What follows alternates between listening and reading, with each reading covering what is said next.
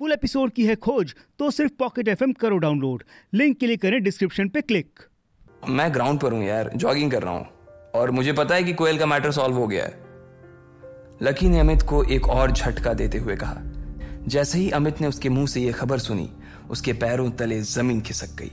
उसका मुँह खुला का खुला रह गया और उसने उधर से कहा अरे अरे भाई तु, तुझे कैसे पता? सच में यही हुआ है? अभी 20 मिनट पहले ही कोयल के पापा का फ़ोन आया और उन्होंने कहा कि चिंता की कोई बात नहीं है, मैटर सॉल्व हो गया है। लेकिन तू बता ना, तुझे कैसे पता चला? अरे यार, मुझे तेरी आवाज़ से पता चल गया पगले। अगर मैटर सॉल्व नहीं हुआ होता तो तू इतना खुश थोड़ी होता। लकी ने इधर से मुस्कुराते हुए कहा हाँ अब यार, ये भी बात सही है। चल, अब तू जल्दी से काके पर आ जा। कोयल कह रही है कि उसकी तरफ़ से आज ट्रीट है। हम पहुँच चुके हैं, तू भी जल्दी आ जा। अमित ने कहा लकी दौड़ते दौड़ते रुक गया और अपनी आस्तीन से अपना पसीना पोछते हुए उसने कहा, नहीं यार, तुम लोग मज़े करो, मैं नहीं आ रहा। वो नहीं चाहता था कि फिर से उसे देखकर कोयल का मन खराब हो जाए। अरे यार भाई, ऐसा मत कर यार। देख, सब लोग यहीं पर है। अब तू नहीं आएगा तो अच्छा नहीं लगेगा। आ जाना यार। देख, अगर तू नहीं आया ना तो भूल जाना कि मैं, गर्वित और प्रीतम तेरे भाई हैं। आज से ये दोस्ती खत्म हो जाएगी और तेरा कमरे पर भी ना आना बंद हो जाएगा।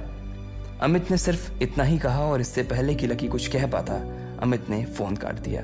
लकी असमंजस में फंस चुका था। उसे समझ नहीं आ रहा था कि आखिर वो करे तो क्या करे।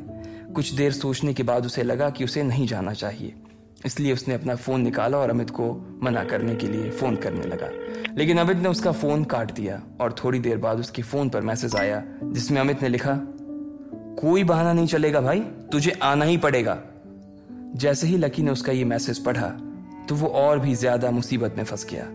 लकी मैदान में खड़ा खड़ा इसी उहापों में फंसा हुआ था कि आखिर कोयल से मिलने के लिए और उसकी खुशी में शामिल होने के लिए उसे जाना चाहिए या नहीं। हालाँकि उसके खुश होने के पीछे का कारण खुद लकी ही था, लेकिन वो अपने मुँह से ये सब नहीं बताना चाहता था। उसने एक बार और अपना मोबाइल फ़ोन देखा। उस पर अमित का वही मैसेज उसकी स्क्रीन पर दिखाई दे रहा था। चलो, दोस्त के लिए थोड़ी और बेइज्जती ही सही। लकी ने अपने आप से कहा और फिर मैदान से बाहर निकल आया। इधर कोयल अपने बाकी दोस्तों के साथ काके पर आ चुकी थी। उसके साथ एक ही टेबल पर दस लोग बैठे हुए थे। दिशा, मानसी, रोशनी के अलावा भी कोयल के कुछ एक दोस्त थीं, जो आज वहाँ नज़र आ रही थी। वही अमित के साथ गर्वित और प्रीतम भी थे। कोयल के साथ उसका एक और दोस्त तन्मय भी वहीं पर बैठा हुआ था। देखने से वो सभी कोयल के पुराने दोस्त लग रहे थे। कुछ देर बाद लकी भी वहाँ पहुँच गया था। जैसे ही लकी वहाँ पहुँचा, उसने सबसे पहले कोयल को देखा।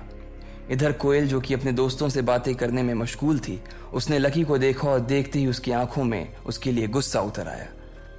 भले ही लकी ने उसके लिए इतना कुछ कर दिया था, लेकिन फिर भी लकी के लिए उसका गुस्सा था कि शांत होने का नाम ही नहीं ले रहा था। जैसे ही लकी उनकी टेबल के पास पहुँचा, कोयल ने कहा, तुम तुम फिर से यहाँ आ गए? मैंने तो तुम्हें नहीं बुलाया था। इस बार कोयल के इस कहे से लकी का गुस्सा बढ़ गया था। सभी लोग कोयल की इस बात से हैरान थे। लकी के दोस्त भी कोयल को बस देखे जा रहे थे। लकी कोयल की नज़रों में अपने लिए इतनी नफरत नहीं देख सकता था। अब लकी क्या करने वाला था? क्या वो यहाँ से उठकर चला जाता? या गुस्से का घूंट पीकर वहीं बैठ जाता? हाय, मैं आपका लकी। तो अब क्या होगा?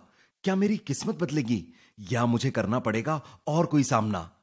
वैसे इस एपिसोड की शुरुआत में क्या हुआ? और आगे क्या होगा?